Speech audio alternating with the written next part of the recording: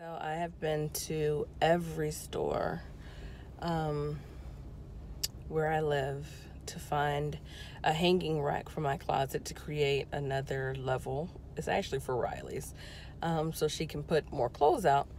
And no store has it. In America, you find it everywhere. So I've um, gotten a little frustrated. I even tried to order off of eBay, and um, it said it doesn't deliver to this region. So, anywho, I just went to our local hardware store and I got some duct tape and those uh, PVC, what, pipe thingies? I don't know. Not a handy person. And then at a thrift store, I just got this string. So let's see what I can do. All right, so this is her messy closet. I tried to have a little organization, but whatever. Everything's just loaded in here and I still have laundry that I'm trying to um, hang. So this is why I came up with this option. I'm even hanging uniforms up here. All right, so, so one see. more time. PVC, I got the exact size I needed for Riley's closet. Duct tape, and then some little strings. So the duct tape was $3. This was $2.99.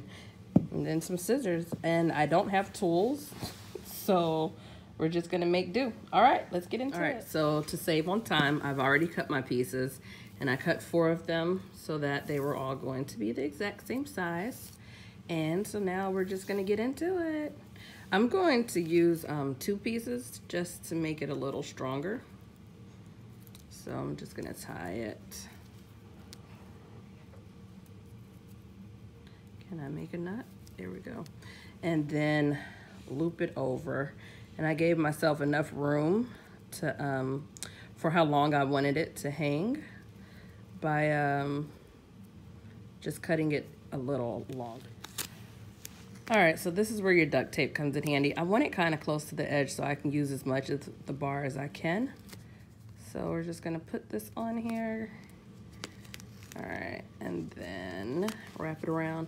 I saw some white, but it was more expensive, and because I wanted to keep this project a little cheap, I chose to get the silver. What you want to do is basically cut down so you can go around the string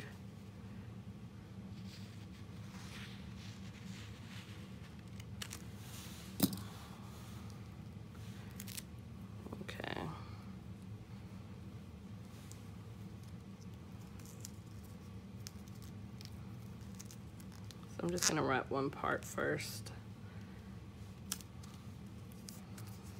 I think it's gonna be real secure. Oh, oh, it's getting a little messy with this tape. Maybe you'll do better than me.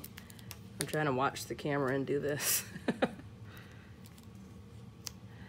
All right, not a pro job, but again, it's a DIY and I'm not a professional DIYer. So you get the idea, okay? Let's speed it up.